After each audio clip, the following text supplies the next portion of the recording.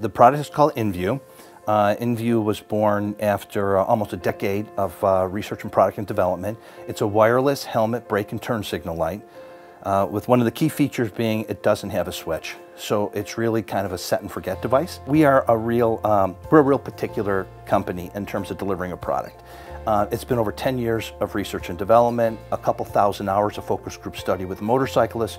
We wanted to make sure that we had something right the first time. So it's been a ton of work. Once we completed that, we knew we had a partner with manufacturers who had that same kind of capability and philosophy to deliver.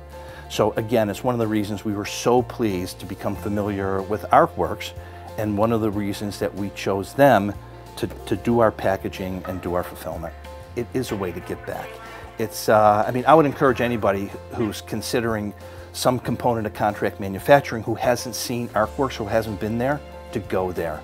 You're going to find a bunch of really happy people who are excited to come to work, who do a great job, uh, who are closely supervised in the work that they're doing. The, the, packages come flat, so the box is flat.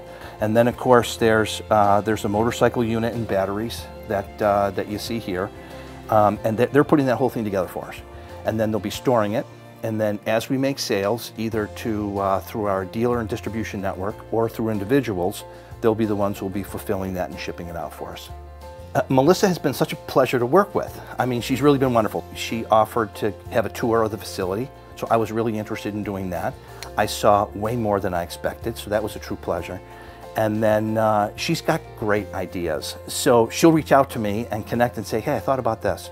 Or what do you think about this? Or do you think we should try this? And uh, that's really important to the company.